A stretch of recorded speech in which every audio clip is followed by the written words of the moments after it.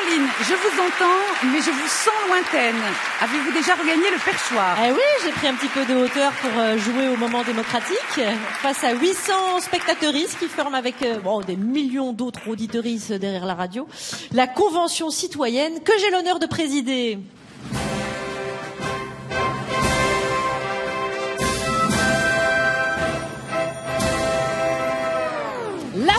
France est le premier pays au monde à avoir gravé donc l'IVG dans sa constitution.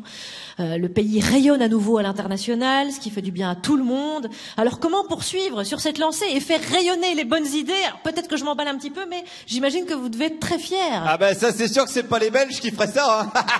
Allez, les Belges seraient moins progressistes que les Français. ben prouvez-moi le contraire. Bah, la Belgique, c'est le deuxième pays au monde à avoir légalisé le mariage gay il y a 20 ans. Ouais, ouais, ouais, bon, ouais, c'est un coup de chance. La légalisation de l'euthanasie, un coup de chance aussi peut-être? Ouais. Voilà. La ouais. dépénalisation de la possession personnelle de cannabis. Ouais, euh, je dois y aller parce que je suis garé en double film. Et j'aurais adoré prouver que vous avez tort, Ouais. madame. Vous êtes venu en métro, Guillaume. Attendez, je vous entends plus, je passe Ouais. sous un tunnel là. Voilà, Euh, mais tant mieux, tant mieux. Euh, des suggestions pour faire rayonner la France à l'international? Ouais, les JO. Oula, attendez, parce que vu comme c'est parti, les JO, là j'ai un doute quand même. hein. Bah bien sûr que si, il suffit de les annuler. Ah oui. Oh là là Ils ont déjà voté la question. Bon, je vais euh, formuler autrement. Aujourd'hui, euh, la constitutionnalisation de l'IVG et demain. Euh, moi, demain, il faut que je dépose les gosses à l'école et après, j'ai une réunion à 9h. Bah, c'était façon de parler, je voulais dire euh, qu'est-ce qu'on pourrait inscrire dans la Constitution de demain? Euh, je sais pas.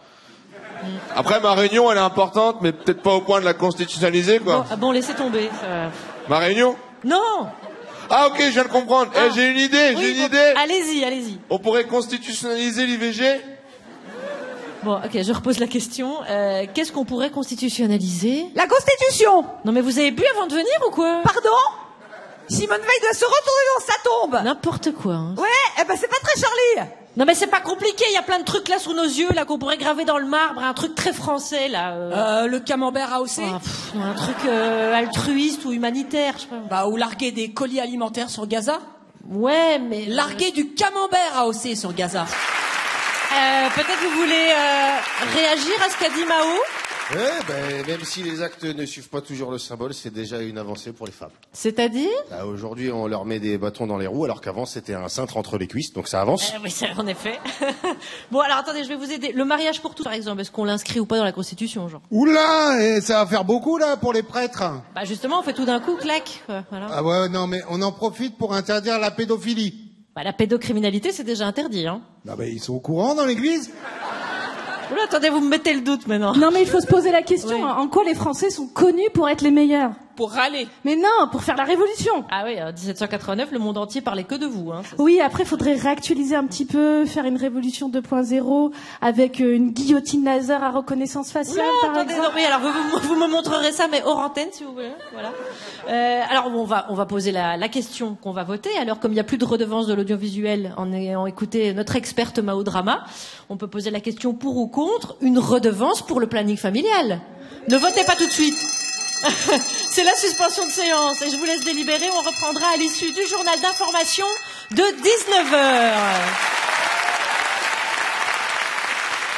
En effet, les auditorices présents en studio vont pouvoir voter la proposition de loi débattue à la fin de la première heure de l'émission. On va voter pour ou contre une redevance pour le fonctionnement du planning familial. Alors, par applaudissement, qui est contre? Ah.